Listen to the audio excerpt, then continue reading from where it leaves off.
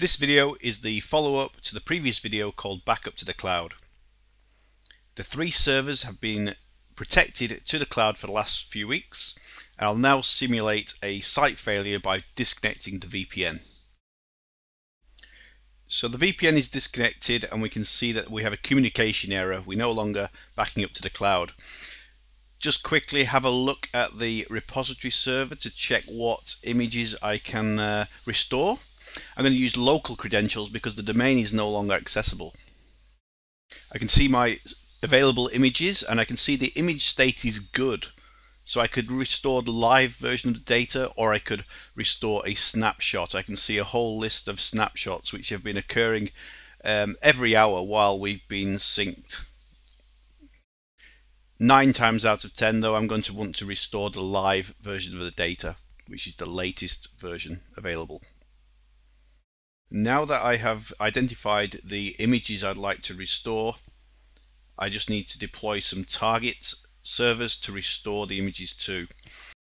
Now I'm using a virtual cloud environment, but you could be recovering to a physical server um, or to an ESX or Hyper-V virtual machine all that matters is that the operating system that you're preparing is the same as the operating system that we're actually going to be restoring, which in this case is Windows 2008 R2. Of course, it's also important that the target server we're preparing has enough storage to hold the data that we're going to restore to it and that it has enough CPU and memory to be able to run the workload when we have recovered the server.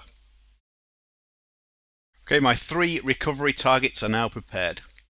The recovery target servers have been deployed in the cloud, but I need to prepare the recovery server uh, by installing DoubleTake and enabling .NET. The DoubleTake backup console makes this easy using the prepare recovery server wizard. So use the IP address and the uh, credentials for the recovery server and DoubleTake will verify that .NET is installed or enabled and it will push out DoubleTake and use a temporary license key that is valid for 10 days while you recover the data. It shouldn't take too long to deploy the DoubleTake backup agent to all three of the recovery servers.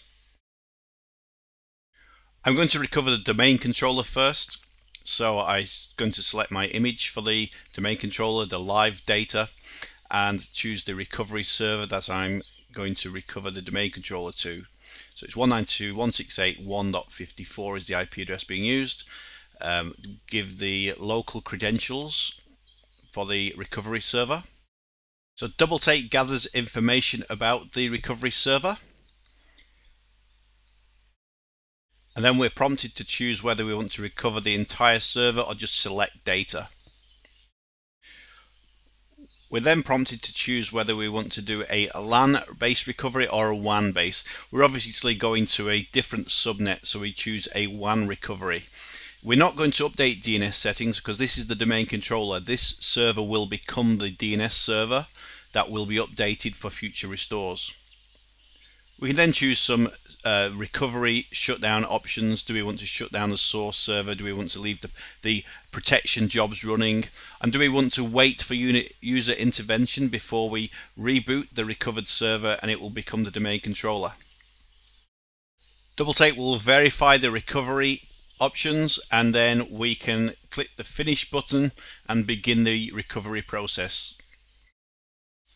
The recovery process involves double take, creating a replication set containing the data that we wish to restore, creating the connection from the repository server to the recovery server, and then finally we will apply the system state from the server that was being backed up onto the recovery server. All data has been restored to the target recovery server, but we did select to pause the process before completing the system state being applied. So I'm just going to continue the process now. Now this is going to merge the system state and registry from the server that was being backed up to the recovery server. Very, very similar process as that is used by DoubleTake when you use full server failover with DoubleTake availability. This is, allows us to restore images from one type of hardware to another type of hardware or from a physical server to a virtual machine in the cloud. Okay, recovery is complete. The domain controller has rebooted. It is now a fully functioning domain controller. We can now go through the same process for the SQL Server and the uh, Exchange 2010 server that were also being backed up. The recovery process is almost identical to the domain controller. There is one additional step that needs looking at. The WAN recovery, we can now update the DNS server. The DNS server is of course the domain controller that we've just restored. So we add that DNS server IP address, add credentials you needed to update, and these are the domain credentials, and then verify that we can actually update the credentials. We then continue the recovery process in exactly the same way.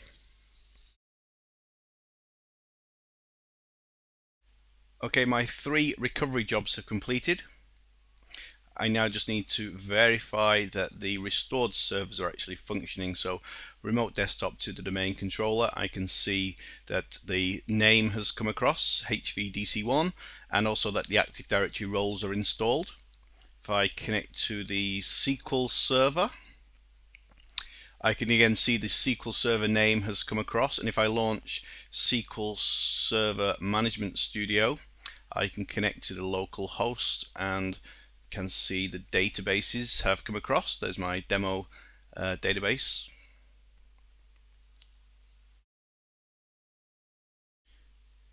Finally, if I connect to my Exchange server, I can see the Exchange server name has come across, EX2010.